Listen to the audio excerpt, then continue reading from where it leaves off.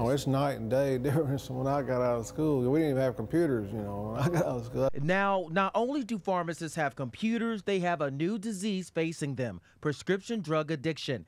At Riverside Village Pharmacy on McGavock Pike, they've seen it for themselves. One person went to, in a two month period went to eight doctors and nine different pharmacies.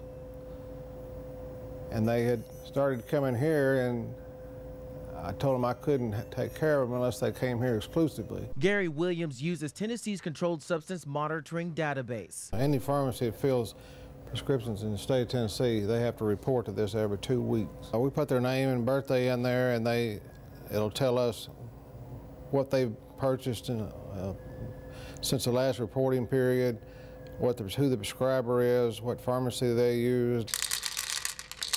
Checking the database before filling a pain medication prescription used to be an option, but Friday, Governor Bill Haslam made it the law. The governor and law enforcement pressed so hard to make that database check a law because in Tennessee, prescription drugs and in particular painkillers rank near the top for the most abused drugs in the state. I was kind of surprised, you know, that some of the uh, bigger companies uh, they they weren't looking. You could you could tell they weren't looking. Williams hopes the new law will force those pharmacies to look and hopefully prevent abuse. In Inglewood, Joseph Pleasant, Nashville's News 2.